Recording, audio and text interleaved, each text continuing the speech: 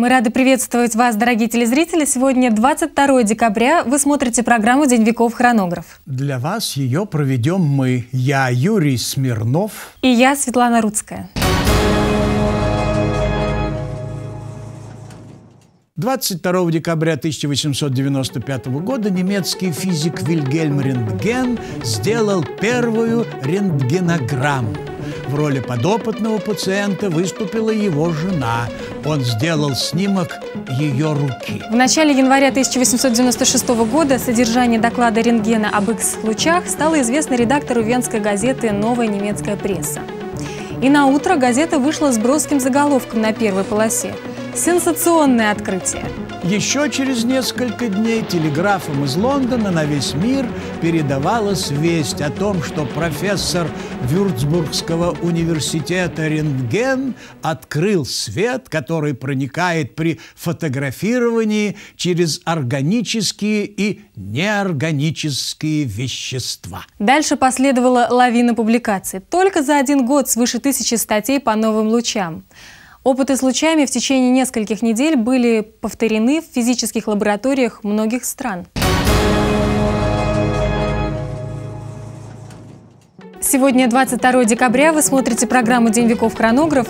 И теперь о событиях, которые происходили в этот день в мировой истории в 20 веке. 22 декабря 1917 года Конгресс США ввел сухой закон в стране.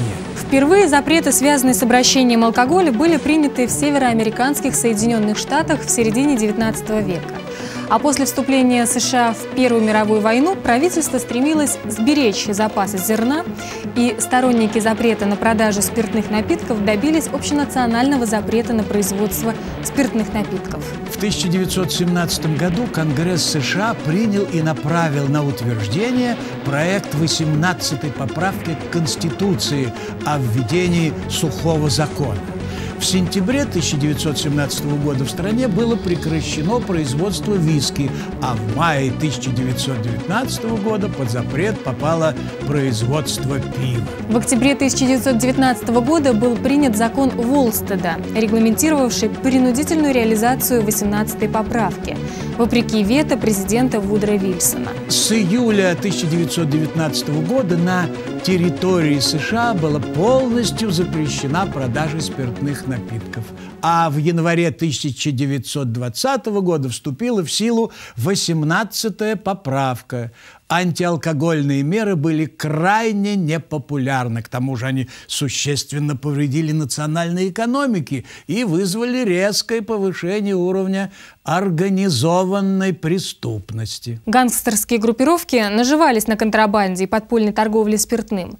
Под давлением общественности в декабре 1933 года была принята 21-я поправка Конституции, отменявшая общенациональный сухой закон. На уровне отдельных штатов ограничения ограничения в продаже и производстве спиртного оставались. Оклахома, Канзас и Миссисипи оставались сухими еще в 1948 году. Штат Миссисипи последним из всех снял ограничения в 1966 году. 22 декабря 1920 в Москве на 8 Всероссийском съезде Советов был утвержден план государственной электрификации России – ГОЭЛРО. Советская энергетическая система ведет отчет своей истории от принятия в конце 1920 года плана ГОЭЛРО – государственной электрификации России. Первые положительные результаты плана были получены уже во второй половине 1920-х годов. Энергетики России отмечают в этот день свой профессиональный праздник. План Гойлору был рассчитан на 10-15 лет и предусматривал коренную реконструкцию народного хозяйства на базе электрификации.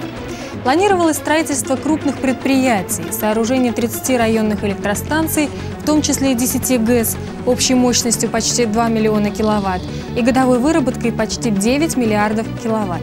План был в основном выполнен к 1931 году. Двадцать второго декабря 1923 года в Красной армии было введено обязательное обучение бойцов игре в футбол. Новое, хорошо забытое старое. Еще во время Первой мировой войны вышел циркуляр Верховного главнокомандующего, разрешающий, по примеру других стран, тратить хозяйственные деньги на внедрение футбола в армию. А в сентябре 1917 года уже был проведен солдатский кубок. В начале 1920 года футбол был включен в программу допризывной армейской подготовки, а через два года проведено первое первенство армии и флота – армейские игры.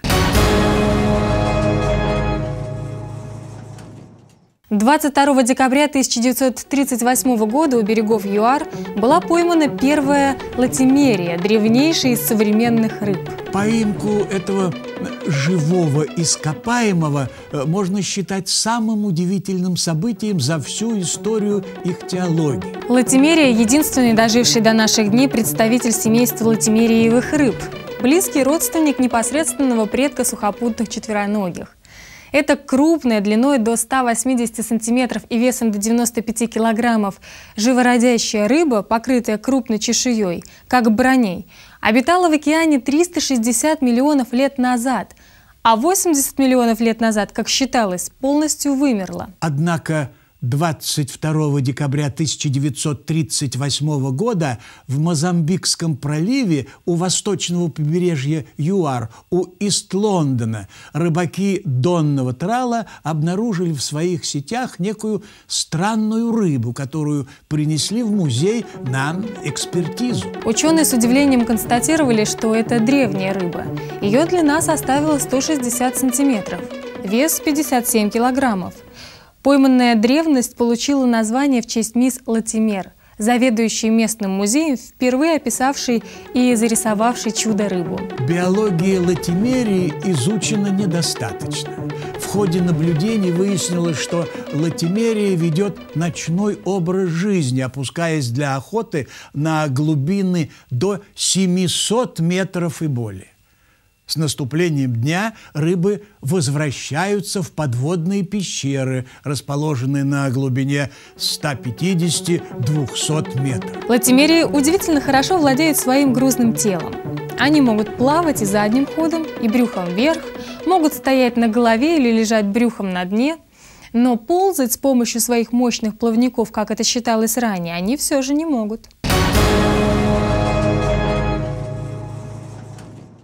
22 декабря 1989 года были открыты для свободного прохода Бранденбургские ворота. Они стоят в конце улицы Унтерден-Линден на границе районов Митте и Тиргартен, а сооружены были в 1788-91 годах архитектором Лангхансом по примеру пропилеев Афинского Акрополя. Ворота, увенчанные квадригой богини Победы Виктории – причем сначала планировали украсить ворота скульптурой богини мира Ирены.